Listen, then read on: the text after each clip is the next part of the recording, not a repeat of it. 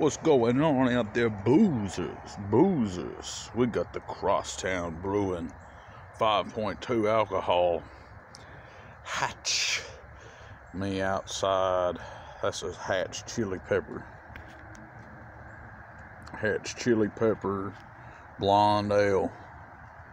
That's blonde ale, baby. And, uh, yep. Oh, yeah.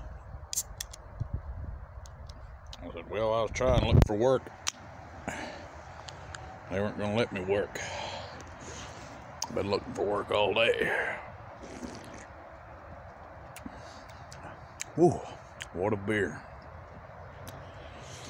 Looks like they dumped a bunch of uh, old Doritos in here. Hot, spicy Doritos. I'm starting to get fat again. Hell, I was in the shower in the joint, you know, you go take showers. I had my face breaking out. You see my face. See, it's starting to heal up a little bit, but you see all those bumps. That shave, I have you shave a little bit. I started looking like Ed Gein. Fucked my face up. We had to wear a mask. And uh, you know, you come out of jail and all you want to do is go to work and and be a better member of society. And then I come out and everybody's like, "Well, you can't go to work." I'm like, "Well, damn." What do I got to do to go to work? They said, Well, they won't let you go to work. I said, So I guess I'm just going to drink and do beer reviews. That's my work. You know, I don't make no money. Well, you know, that's just the world we live in. You know, if uh, if God wanted me to work, I'd be working.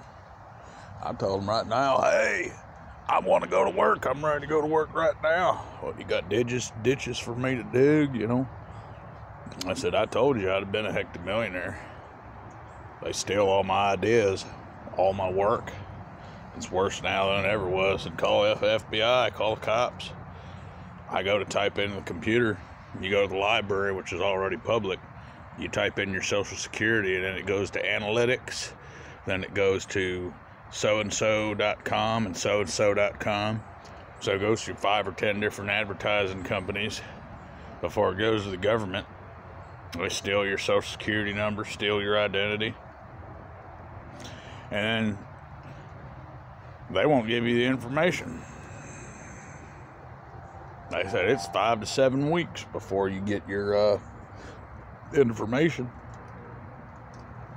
Well, you don't have an address. It's like, well, they got an address. It's like, well, then we'll just steal your identity. Like, okay. Well, damn. Ain't that America? I must want to buy a point five. It's a good one.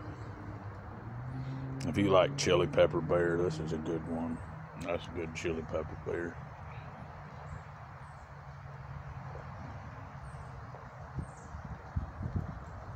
Yeah, the rate we're going, 36 days in jail. I don't think I'm gonna. I don't think I'm gonna live to see a thousand beers out on this one. Not period. Ain't gonna be no thousand beers. But we're just doing the time, baby. Waiting on somebody to call. I called a bunch of people, painting painting companies, drywall companies, factories. You know, it they'll work you, but you know they they gotta have all this information. It's like, damn, people with no ID and no identity go to work faster than I can. Oh well, bye.